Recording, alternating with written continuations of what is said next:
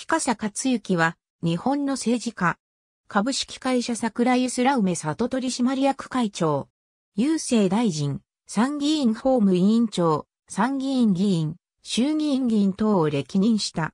岡山県津山市生まれ、慶応義塾大学小学部卒業。大学卒業後は、政教新聞社や公明党、創価学会の職員を務める。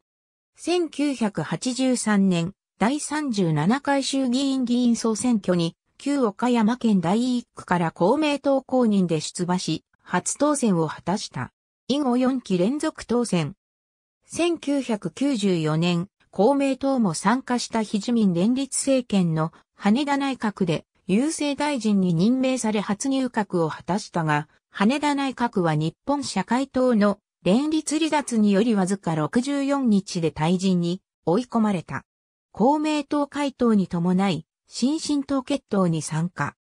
1996年の第41回衆議院議員総選挙では、小選挙区比例代表並立制の導入に伴い、新設された岡山一区から新進党公認で出馬したが、自由民主党の相沢一郎に敗れ、落選した。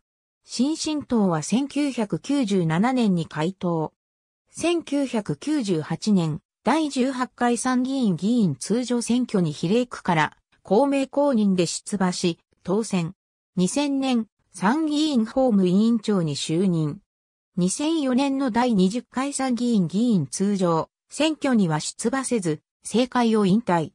2005年、株式会社桜井スラ梅里を設立し、代表取締役に就任した。